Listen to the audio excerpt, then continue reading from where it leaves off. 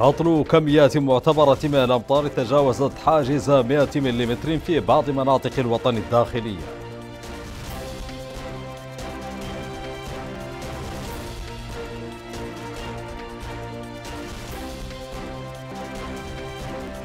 المركز الصحي ببوم ديد يستأنف خدماته الصحية بعد تضرر مرافقه من السيول من السيول التي شهدتها المقاطعة.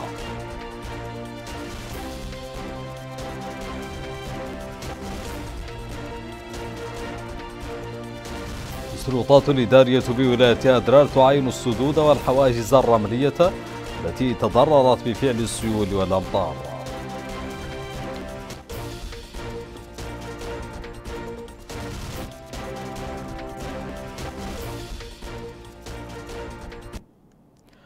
مرحبا بكم مشاهدي قناة الموريتانيا في نشرة الرابعة وشح الوزير المنتدب لدى وزير الشؤون الخارجية والتعاون والموريتانيين في الخارج المكلف بالموريتانيين في الخارج السيد محمد يحيى سعيد وزير الشؤون الخارجية وكالة باسم رئيس الجمهورية السيد محمد الشيخ الغزواني. أمس بمقر الوزارة في نواكشوط سعادة السيد مصطفى ندور سفير جمهورية السنغال بوسام commandeur في نظام الاستحقاق الوطني. وذلك بمناسبة انتهاء مهمته في بلادنا. وخص الوزير الدبلوماسي السنغالي بعد التوشيح باستقبال في مكتبه حضره السيد محمد الحنشي الكتاب السفير المدير العام لمديرية التعاون الثنائي. المدير العام للوكالة للوزارة وكالة عفوا الأمين العام للوزارة وكالتان. والسيد البكاي للخو مدير ديوان الوزير والسيد حمزة معيلي مدير الشؤون الإفريقية بالمديرية العامة للتعاون الثنائي. جرى حفل التوشيح بحضور مكلفين بمهام ومستشارين ومديرين عامين وعدد من أطر وزارة الشؤون الخارجية والتعاون والموريتانيين في الخارج. في سياق آخر اختتمت أمس أعمال الورشة الفنية المنظمة تحت عنوان تفعيل المساعدة القضائية للأطفال المتنازعين مع القانون. من قبل مديرية الحماية القضايا للطفل. تهدف هذه الورشة إلى تعبئة الموارد المالية والبشرية من طرف الجهات المعنية والشركاء الدوليين لصالح المساعدة القضائية للأطفال. توجت اليوم أعمال الورشة الفنية المنظمة من قبل مديرية الحماية القضائية للطفل بالتعاون مع اليونسيف وهيئة نورا.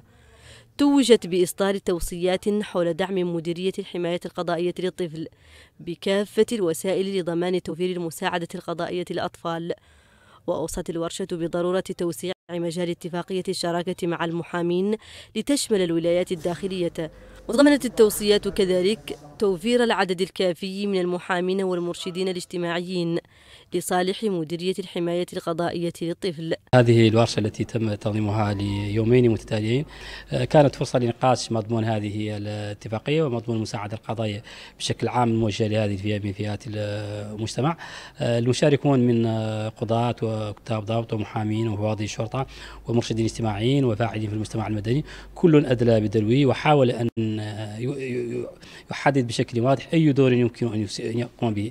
فلذلك كانت النتائج مهمة جدا وكانت الخلاصات على القدر الذي كنا نأمل وأن نعمل على أن تبقى المساعدة القضائية التي نحن بصددها مثالا مهما جدا للتحول الخاص للجمهورية الإسلامية الموريتانية في مجال القضاء الأحداث هو تجربة نوعية تتماشى مع هذه اللي فيها الهشة من المواطنين والتي هي بطبيعة الحال فيها تأتي في أولى الأولويات لفخامة رئيس الجمهورية السيد محمد الشيخ الغزواني توصيات ومخرجات يأمل القائمون على هذه الورشة أن تسهم في إصلاح المنظومة القضائية وتفعيل المساعدة القضائية للأطفال فاعلين وضحايا. وإلى مدينة بوغي التي شهدت تساقطات مطرية معتبرة صباح اليوم وصلت حسب مصالح الرصد الجوي حاجز 60 ملم تضررت منها بعض الأحياء الواقعة في أطراف المدينة. خاصة الأحياء التي تقع أصلا في مصب المياه وتعد أكثر عرضة لمياه الفيضانات في موسم الأمطار. وتأتي هذه الأمطار بعد فترة وجيزة من هطول أمطار أخرى شهدتها المدينة في وقت سابق بلغت حوالي 160 ملم وأدت إلى خسائر مادية. وقد تدخلت السلطات عبر المصالح الفنية التابعة لوزارة المياه والصرف الصحي بالتنسيق مع مفوضية الأمن الغذائي والمندوبية العامة للأمن المدني وتسيير الأزمات وتم نقل المتضررين من هذه السيول إلى مناطق آمنة مع توفير كافة اللوازم اللوجستية الضرورية. ورغم تفاقم السيول وزحفها نحو أجزاء واسعة من المدينة إلا أن السلطات المحلية لم تسجل أي خسائر بشرية, بشرية لها علاقة بالتهاطلات المطرية على مدينة بوغيل.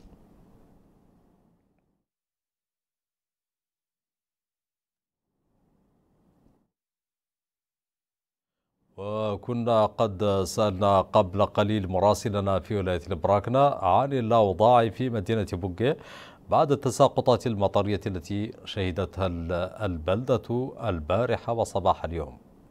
فكان رده شهدت مدينة بوغي صباح اليوم تساقطات مطرية معتبرة وصلت لحدود 60 ملم هذه التساقطات المطرية تأتي بعد أخرى عرفتها المدينة منذ أسبوع تقريبا وصلت لأزيد من 100 ملم بطبيعة الحال يقع وسط المدينة بعض الأحياء التي تقع في منخفضات وبالتالي هذه الأحياء حصرت المياه في آه، الأمطار الماضية وأيضا زادت من آه، هذه الأمطار التي عرفتها اليوم زادت من آه، المستنقعات التي تحاصر هذه المنازل و يعني بعض الدكاكين داخل السوق المركزي للمدينة. السلطات المركزية على مستوى مقاطعة بوغ تدخلت وأيضا وصلت بعض التدخلات الاجتماعية المقدمة من طرف بعض القطاعات الحكومية خاصة فيما يتعلق بالتوزيعات المجانية التي استفاد منها آه، سكان هذه الأحياء. آه، سخات المطر ما زالت إلى الآن متواصلة وكما تلاحظون وبالتالي آه، هي أمطار خير وبركة عرفتها عاصمة المقاطعة مدينة بوكا بالتحديد. وفي شأن الأمطار دائما لكن هذه المرة من ولاية العصابة حيث شهدت بعض ولايات الوطن الداخلي عفوا ليلة البارحة كميات معتبرة من الأمطار. تجاوزت في بعض المناطق حاجز 100 ملم وقد سجلت مقاطعة بومديد ليلة البارحة أمطارا تراوحت مقاييسها حسب المعطيات الأولية المحلية ما بين 104 ملم في مدينة بومديد و60 ملم في قرية تصلح.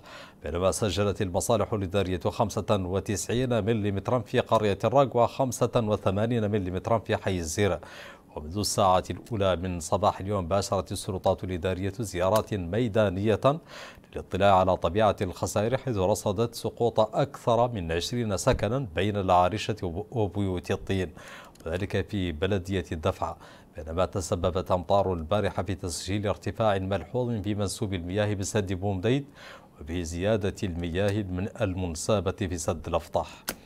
ونبقى دائما في مقاطعة بومديد حيث استأنف المركز الصحي بمقاطعة بومديد خدماته الصحية بعد أن تأثرت مرافقه الصحية بفعل السيول التي اجتاحت المدينة خلال الأيام الماضية. وقد استطاعت الطواقم الطبية بالمركز بالمركز إعادة تأهيل عدة أقسام لاستقبال المراجعين وتقديم الاستشارات الطبية لهم. تدريجيا يعود المركز الصحي بمقاطعة بومديد للعمل مجددا. المراجعون بدأوا بالتوافد على المركز للمعاينة بعد أن تمكن الطاقم الطبي الموجود من إعادة تأهيل عدة أقسام منه رغم تلف معظم أجهزته نتيجة لمياه السيول التي غمرته الأيام الماضية.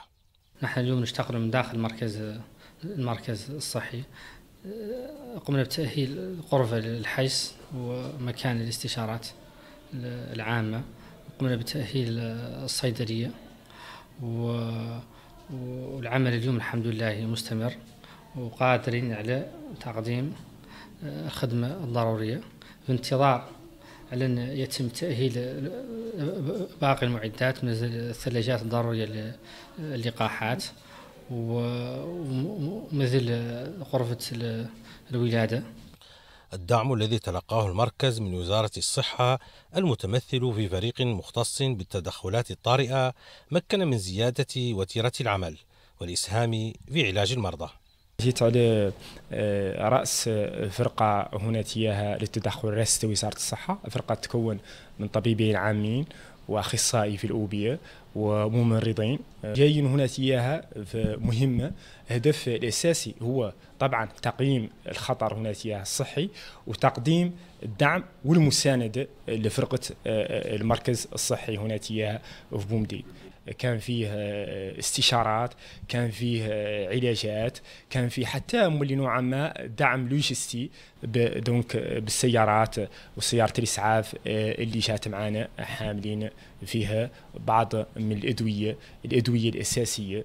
الاستشارات الطبية باتت متوفرة في المركز إضافة للأدوية الضرورية المطلوبة موسم الخريف ما خلق جوا من الارتياح لدى المواطنين. طبعا جيت والله لحقت إشتغلوا الناس تشتغل الحمد لله. يا جماعة الحمد لله الأطباء ما شاء الله كان جاتني كامل الحمد لله. خاص الطفيل خاص اللي خالق. جيت هون عندي طفيل وجهه فيه شوي حساسية والله شي ما نعرف شنو. الزرع كانت أولا على خنافره. عاد اللي تنشر في وجهه. عاد في قاشوش وعاد في ديات. والله جيت ما شاء الله تلقاولي ما شاء الله الأطباء اعتناوا بي خرصوا. كتبوا لي على الدواء. بخطوات حثيثة تعمل الطواقم الطبية بمقاطعة بومديد وفقة فرق الدعم المرسلة من قبل وزارة الصحة على إعادة المركز الصحي ليعمل بكامل طاقته ويكون جاهزا لتقديم كافة الخدمات الصحية للسكان في أقرب وقت ممكن. تالي الصادق قناة موريتانيا مدينة بومديد إلى شمالي البلاد حيث تفقد والي أدرار السيد عبد الله محمد محمود أمس رفقة أعضاء من لجنة الطوارئ الجهوية. بعد السدود والآثار التي سببت الأمطار على الحواجز الرملية بضواحي مدينة أطار. وخلال مختلف هذه المحطات استفسر الوالي عن وضعية السدود والأضرار التي خلفتها الأمطار كما تعرف على وضعية هذه السدود والحواجز المائية والآليات المستخدمة للتصدي لكافة المخاطر. التي قد تنتج عن زيادة التساقطات المطرية بهذه المناطق وتقوية ودعم الحواجز المائية القائمة.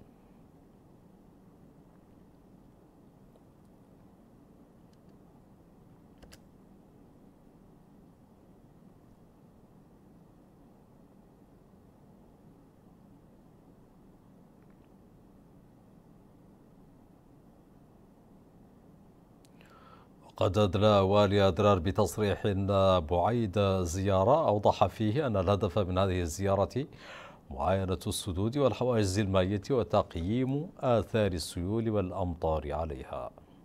نحن هنا اليوم قائمين بزيارة لبعض الحواجز المائية اللي تضررت من هذه السيول الأخيرة. وكنا جاء المواطنين مشاكين وبقينا نطالعوا لنوعية الضرر كيفاش قد يتم جبره. إذا كان خبر به السلطات العليا السلطات المختصة به. وكلها بعد آه، الحمد لله ما ترتب عليها أضرار كبيرة. آه، لكن يلا تنقبض بعين الاعتبار من أجل إصلاحها سابق يستفحل حتى الخطر فيها. كان أمورها كاملة ما زالت لله عادية حق تضررت من بعض الأماكن. غير ما زالت تضرر بسيط كامل ونعود بكم مشاهدينا الأعزاء إلى ولاية البراكنه حيث عرفت بوادي مقاطعة بابا بي خلال الأسابيع الأولى من موسم الخريف قدوم عشرات العائلات الراغبة في قضاء العطلة وسط أجواء الخريف ومناظره الطبيعية. فريق من مكتب الموريتانيا في ولاية البراكنه زار هذه البوادي وأعد التقرير الذي يرصد فيه جوانب من الحياة اليومية لبعض هذه العائلات. فوق هذه الكثبان الخضراء والسهول الممتدة ملء الأفق خضرة وجمالا في بوادي مقاطعة بابابي يفضل العديد من ساكنة المنطقة قضاء فصل الخريف هنا حيث مظاهر البادية الأصيلة. في هذا الصباح الباكر من يوميات الخريف المعتادة يتفقد الحسن قطعان البقر للتأكد من أن أي منها لم تتخلف عن القطيع. في بداية عملية حلبها وفق الطقوس المعتمدة والمتوارثة.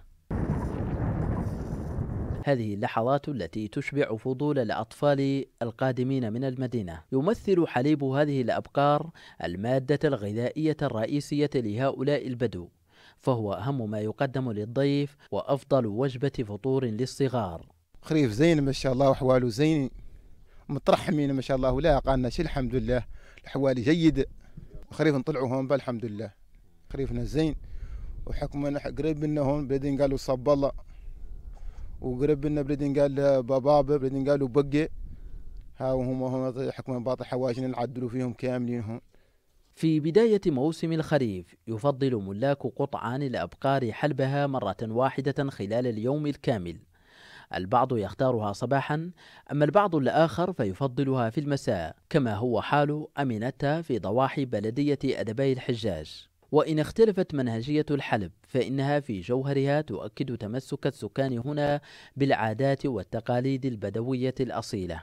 الخريف جميل ولله الحمد. عادة في بواكير الموسم نفضل المساء لحلب الأبقار ونتركها تسيح طوال الليل لتعود في المساء الآخر. وقد أكلت من العشب الكثير وهذا ينعكس بالإيجاب على الأبقار. وفي الغالب تشكل هذه الطقوس البدوية عامل استقطاب رئيسي للمقيمين في المدن من أجل قضاء فصل الخريف في هذه الربوع البدوية التي تتميز بمناظرها الخلابة ومناخها المعتدل بعيدا عن صخب المدينة وضوضائها. محمد من هذه قناة الموريتانية مقاطعة بابا بي. وبهذا التقرير نختم وإياكم مشاهدينا الأعزاء. نشرة الرابعة إليكم تذكيرا بأبرز عناوينها. هطل كميات معتبرة من الأمطار تجاوزت حاجز 100 ملم في بعض مناطق الوطن الداخلية.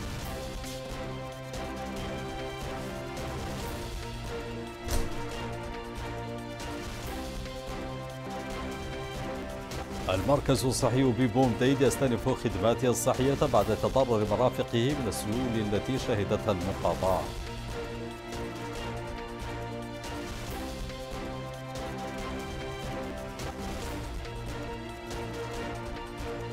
السلطات الإدارية بولاية أدرار تعاين السدود والحواجز الرملية التي تضررت بين السيول والأمطار.